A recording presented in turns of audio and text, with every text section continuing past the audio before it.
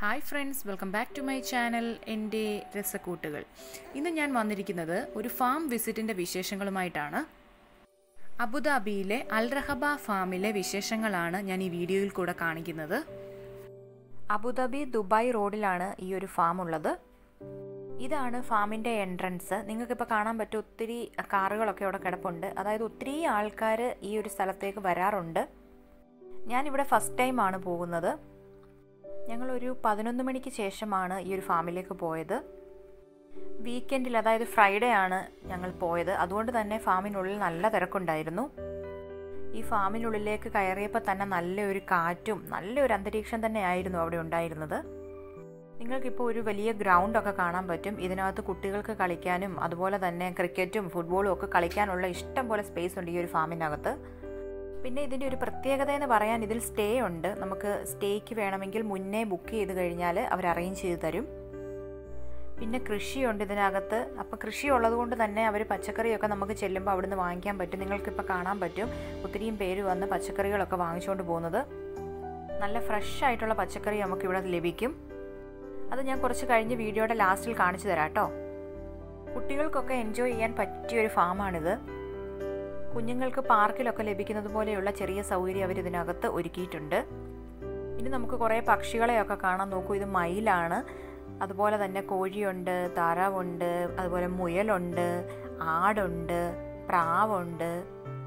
നല്ല നാടൻ താറാവും കോഴിയും ഒക്കെ നമുക്ക് ഇവിടുന്ന് വാങ്ങിക്കാൻ കിട്ടും. നമുക്ക് പുറത്ത് വാങ്ങിക്കുന്നതിനേക്കാൾ കുറച്ച് റേറ്റ് കുറച്ചാണ് അവർ ഇതിനുള്ളിൽ കൊടുക്കുന്നത്. താറാവിന്റെ മുട്ടയും അതുപോലെ കോഴി മുട്ടയും ഒക്കെ അവൈലബിൾ ആണ്. അപ്പോൾ ഞങ്ങൾ ആ ഒരു ഏരിയ വിട്ട് വീണ്ടും മുന്നോട്ട് നടക്കുകയാണ്. കുറച്ച് കുട്ടികളൊക്കെ ഇവിടെ കളിക്കുന്നൊക്കെയുണ്ട്. ഇനി നമുക്ക് കുറച്ചും കൂടി മുന്നോട്ട് ചെല്ലുമ്പോൾ നോക്കൂ. ഇമു അതുപോലെ തന്നെ നാടൻ കോഴി താറാവ് ഒക്കെ ഇവിടെയാണ് ഈ ഒരു സൈഡിലാണ് ഉള്ളത്. ഒന്നും രണ്ടും ഒന്നും അല്ല കേട്ടോ. ഒത്തിരി കോഴിയും താറാവും ഒക്കെ ഉണ്ട് ഈ ഒരു ഫാമിൽ കാരണം നമ്മൾ ഈ ഒരു ഫാം പ്രിഫർ ചെയ്യുന്നത് എന്താണെന്ന് ചോദിച്ചാൽ നമുക്കിവിടെ ഫുഡൊക്കെ നമ്മൾ നേരത്തെ ബുക്ക് ചെയ്ത് കഴിഞ്ഞാൽ ലഞ്ച് ഡിന്നർ ഒക്കെ അവൈലബിൾ ആണ്. ലഞ്ച് ഇവിടെ ബുഫയാണ് അതുപോലെ തന്നെ ഡിന്നർ എന്ന് പറയുന്നത് നമ്മൾ നേരത്തെ ബുക്ക് ചെയ്യുന്നതനുസരിച്ച് നമുക്ക് പൊറോട്ടയും ചിക്കൻ കറി അല്ലെ പൊറോട്ട ബീഫ് അങ്ങനെയൊക്കെ വേണ്ടവർക്ക് നേരത്തെ പറഞ്ഞു കഴിഞ്ഞാൽ അവർ റെഡിയാക്കി വെക്കും. പക്ഷേ അവരുണ്ടാക്കുന്ന ഭക്ഷണം അതിനാവശ്യമായ പച്ചക്കറികളൊക്കെ അവരുടെ ഫാമിൽ നിന്ന് എടുക്കുന്നതും അതുപോലെ തന്നെ കോഴി താറാവ് അതെല്ലാം അവരുടെ ഫാമിൽ നിന്ന് തന്നെ എടുക്കുന്ന നാടൻ കോഴി അല്ലെ നാടൻ താറാവൊക്കെ തന്നെയാണ്. ഞങ്ങൾ ഇന്ന് ഇവിടത്തേക്ക് ലഞ്ചിനാണ് പ്രീ ബുക്ക് ചെയ്തിരിക്കുന്നത്.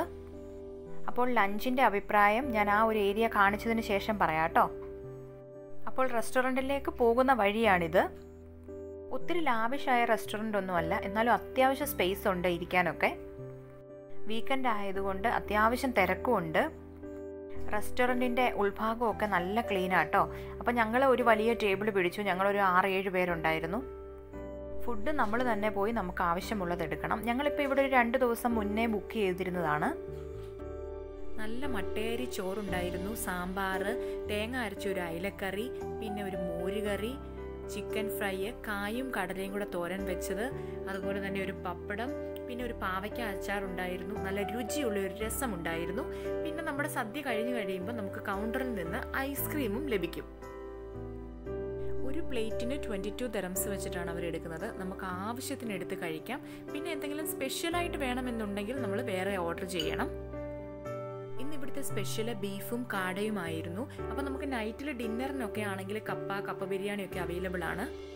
ഇവിടുത്തെ ഭക്ഷണത്തെ പറ്റി നല്ല കമൻസ് മാത്രമേ പറയാനുള്ളൂ. നാടൻ പച്ചക്കറി അതുപോലെ നാടൻ കോഴിയൊക്കെ ചേർത്ത് നല്ല ഭക്ഷണമായിരുന്നു അവർ സെർവ് ചെയ്തത്. ഒരു നാടൻ ഊണ്. നമ്മുടെ നാട്ടിലൊക്കെ പോയി അല്ലെ കേരളത്തിൽ പോയി കഴിച്ച ഒരു ഫീലായിരുന്നു അവിടുന്ന് ഫുഡ് കഴിച്ചിറങ്ങിയപ്പോൾ. അങ്ങനെ വളരെ നാളുകൾക്ക് ശേഷം നല്ല ഹെൽത്തി ആയിട്ട് നമ്മുടെ നാട്ടിൽ പോയി കഴിച്ച ഒരു ഫീൽ ഉണ്ടായിരുന്നു. അത്ര നല്ലൊരു സദ്യ കഴിച്ചു. ഞങ്ങൾ ഭക്ഷണമൊക്കെ കഴിഞ്ഞ് കുറച്ചും കൂടി മുന്നോട്ട് നടക്കുകയാണ്. അത്യാവശ്യം സ്പേഷ്യസ് ആയിട്ടുള്ള ഒരു ഫാം തന്നെയാണിത്. നോക്കൂ നിങ്ങൾക്കിപ്പോൾ കാണാൻ പറ്റും കോഴിയെയും താറാവിനെയും ഒക്കെ. ഇതിങ്ങനെ കാണുമ്പോൾ നമുക്ക് കേരളത്തിൽ ചെന്ന ഒരു ഫീലൊക്കെ ഉണ്ടാവും അല്ലേ? ഞങ്ങൾ കുറച്ചും കൂടി അകത്തേക്ക് ചെന്നപ്പോൾ ഇതുപോലെ കുറേ ഏരിയ ഉണ്ട്. അവിടെ അവരങ്ങനെ മെയിന്റെയിൻ ഒന്നും ചെയ്തിട്ടില്ല. അതിന്റെ ഒരു സൈഡിൽ കുറച്ച് ടേബിളും ചെയറും ഒക്കെ ഇട്ടുണ്ട്. പക്ഷേ ഒരു കാര്യമുണ്ട് നമ്മളിവിടെ ചെല്ലുന്ന സമയത്ത് നല്ല കാറ്റും തണുപ്പും കേട്ടോ ഞങ്ങൾ ഉച്ച സമയത്താണെങ്കിൽ പോലും നല്ലൊരു കാറ്റും നല്ലൊരു ക്ലൈമറ്റ് ആയിരുന്നു അവിടുത്തേത്. ഇതിന്റെ തന്നെ ഓപ്പോസിറ്റ് സൈഡിലാണ് റൂംസ് അവൈലബിൾ ആയിട്ടുള്ളത്. ഇപ്പം നമ്മളിത് കാണുമ്പോൾ മനസ്സിലാകും ചെറിയ രീതിയിലുള്ള റൂംസ് ആണ്. നമ്മുടെ ഹോട്ടലിലെ പോലെ വലിയ ലാവിഷായിട്ടുള്ള റൂംസ് ഒന്നും അല്ല കേട്ടോ സ്റ്റേക്ക് വരുന്ന സമയത്ത് രാത്രിയിൽ ഇവിടെ ക്യാമ്പ് ഫയർ ഉണ്ട് അതുപോലെ നല്ല ഫുഡ് അങ്ങനെ എല്ലാം കൊണ്ടും എൻജോയ് ചെയ്യാൻ പറ്റിയ ഒരു സ്ഥലമാണിത്. റൂംസിന്റെ റെന്റ് എന്ന് പറയുന്നത് ഡിഫറെന്റ് ആണ് കേട്ടോ. വീക്ക് ഡേയ്സിൽ ഒരു റേറ്റും വീക്കെൻഡിൽ വേറെ ഒരു റേറ്റുമാണ് അത് നമുക്ക് ബുക്ക് ചെയ്യുന്ന സമയത്ത് അവർ പറഞ്ഞു തരും. ഞങ്ങൾ കുറച്ച് ബാക്കിലോട്ട് വന്ന സമയത്ത് ഒരു പനയുണ്ട്. പനയുടെ മുകൾ ഭാഗത്തിലായിട്ട് നാലഞ്ച് സോഫ ഇട്ടിട്ടുണ്ട്. പക്ഷെ നമ്മൾ ഈ സോഫയിലോട്ട് എത്തണമെങ്കിൽ താഴേന്ന് പടി കയറി വേണം വരാൻ കുറച്ച് സമയം ഞങ്ങൾ ആ സോഫയിലിരുന്ന് ആ പനയുടെ മുകൾ ഭാഗത്തായിട്ടിരുന്ന് സമയം ചിലവിട്ടു. അതിനുശേഷം ഞങ്ങൾ അവിടുത്തെ കുറച്ച് അതായത് മുകളിൽ നിന്ന് നമ്മൾ പിക്ചർ എടുക്കുന്ന സമയത്ത് നമുക്ക് ഈ ഒരു ഫാമിന്റെ ഓവറോൾ വ്യൂ കിട്ടും. നല്ല സ്പേഷ്യസ് ആയിട്ടുള്ളൊരു ഫാമാണ് കേട്ടോ ഇത്. ഇനി ഞങ്ങൾ കുറച്ച് പച്ചക്കറിയൊക്കെ വാങ്ങിക്കാമെന്ന് വിചാരിച്ച് വന്നു. നല്ല ഫ്രഷ് പച്ചക്കറിയാണ് ഇവിടെ കിട്ടുന്നത്. നോക്കൂ പാവയ്ക്ക അതുപോലെ തന്നെ തക്കാളി പിന്നെ പയറുണ്ടായിരുന്നു. അതുപോലെ തന്നെ മത്തങ്ങ ഉണ്ടായിരുന്നു. പാവയ്ക്ക വെള്ള കളറിലെ പാവയ്ക്കായും ഉണ്ട് മറ്റേ പച്ച കളറിലെ പാവയ്ക്കായും ഉണ്ട് കേട്ടോ. ഇതെല്ലാം ഇവരുടെ ഫാമിൽ നിന്ന് കിട്ടുന്നതാണ് അതുപോലെ തന്നെ നല്ല ഫ്രഷ് ആയിട്ടുള്ള ക്യാരറ്റ് ബീട്രൂട്ട് വിലയും വളരെ കുറവാണ് കേട്ടോ. നമ്മൾ മാർക്കറ്റിൽ നിന്നോ അല്ലെങ്കിൽ സൂപ്പർ മാർക്കറ്റിൽ നിന്നൊക്കെ വാങ്ങിക്കുന്നതിനേക്കാൾ ഒത്തിരി കുറവാണ്. ഞങ്ങൾ കുറച്ച് ഫ്രഷ് ആയിട്ടുള്ള പയറൊക്കെ ഞങ്ങൾക്ക് കിട്ടിയായിരുന്നു. അതുപോലെ തന്നെ മുട്ട കോഴിമുട്ട താറാമുട്ട നല്ല മത്തങ്ങ ഇതെല്ലാം നല്ല പക്ക ഫ്രഷ് തന്നെയാണ് കേട്ടോ.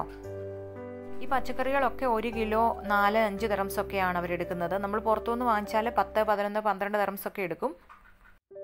ഞങ്ങൾ പച്ചക്കറി വാങ്ങി അവിടെ ചായ കിട്ടുമായിരുന്നു. ഞങ്ങൾ ചായയൊക്കെ കുടിച്ച് അതിന്റെ ഓപ്പോസിറ്റ് സൈഡിലുള്ള സ്പേസിലേക്ക് വന്നു. നമ്മുടെ നാട്ടിൽ വീടിന്റെ മുറ്റത്തൊക്കെ വെച്ചിരിക്കുന്നത് പോലെ തന്നെ അത്യാവശ്യം ചെടികളൊക്കെ ഉണ്ട്. അതുപോലെ തന്നെ ഒരു ചെറിയ വീട് പോലെ നമുക്ക് കാണാം.